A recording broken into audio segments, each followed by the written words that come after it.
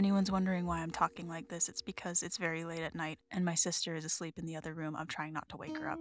So I'm very sorry if this sounds like an ASMR video. Death on the Nile was directed by Kenneth Branagh and stars a handful of people, including one of the leads, which shows that this film was definitely supposed to come out in 2019. It is a sequel to the 2017 film Murder on the Orient Express, which is an adaptation of the Agatha Christie novel, which this is also an adaptation of. Definitely hard to not compare the two of these films. For one thing, I definitely think that Death on the Nile is a much more beautifully shot movie. There's a lot of gorgeously composed shots in this film.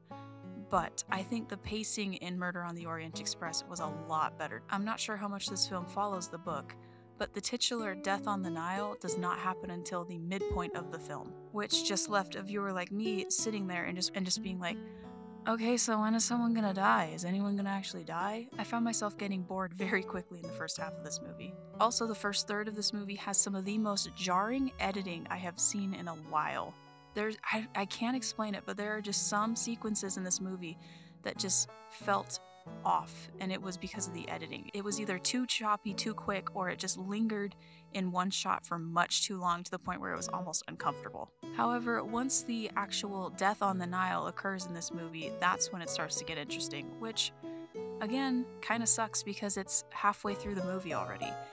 And I was very intrigued and really enjoying solving the mystery. I won't give away who actually did it, and I'm not gonna knock the movie for having the culprit be predictable because of course this is based on a book, but I definitely think the breakdown and the the Scooby-Doo unmasking, so to speak, at the end of this movie just happened a little bit too quick, which is in great contrast because it feels like this movie takes forever to get started. I swear, it begins, I think, three times. It sounds like I'm on this movie, but honestly, these were my only gripes. It was, again, a very well shot, well acted film. Even Gal Gadot, who her performances tend to be a hit or miss for me.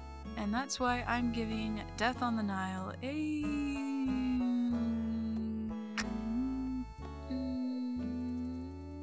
6.5 out of 10?